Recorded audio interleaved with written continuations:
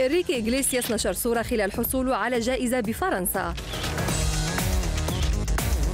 رزان مغربي نشرت فيديو من ماراثون بيروت وظهرت برفقة ابنها.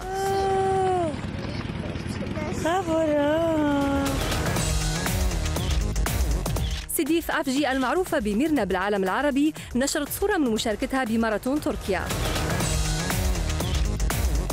مريم أوزرلي نشرت مجموعة صور برفقة بنتها لارا. أسيل عمران نشرت صورة نور الغندور وعائدتها وتمنت لها سنة حلوة.